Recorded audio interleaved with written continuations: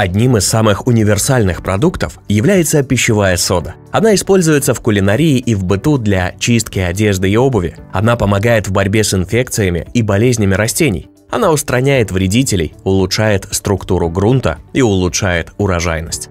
Для себя я нашел очень много способов применения соды и расскажу про них в этом видео.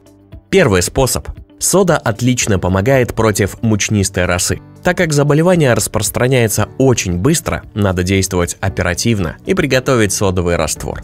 Растворяю в 5 литрах воды 2 ложки соды и немного стружки дегтярного мыла, чтобы смесь дольше оставалась на листьях растений. Обрабатываю все овощи из пульверизатора перед цветением, а потом еще два раза опрыскиваю с недельными перерывами.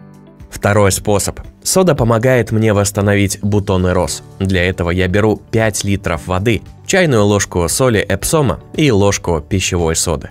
Затем добавляю половину чайной ложки нашатырного спирта и опрыскиваю розы таким раствором. Куст быстро формирует новые побеги и продолжает меня радовать. Третий способ. Сода помогает мне держать плитку во дворе чистой и бороться с сорняками. На 1 литр воды нужно добавить 2-4 ложки пищевой соды, после чего залить такой раствор во все щели. Через месяц нужно повторить процедуру еще разок. Чтобы усилить эффект, можно сделать еще более концентрированный раствор, и между плиток трава больше не будет пробиваться. Четвертый способ. Сода спасает мою капусту от гусениц. Я в равных долях смешиваю муку с пищевой содой, припудриваю листья растений, просыпаю грунт под капустой и никаких гусениц не вижу целый год.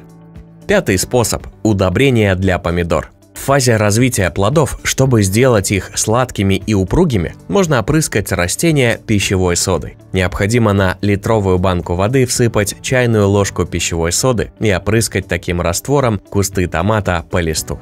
Можно сделать и раствор для полива, но в этом случае концентрация нужна больше. На литр воды 7 чайных ложек соды. Шестой способ.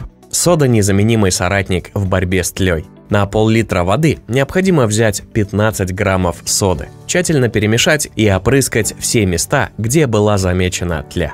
Буквально за 1-2 часа тля покинет ваше растение и вряд ли захочет снова возвращаться к вам на участок.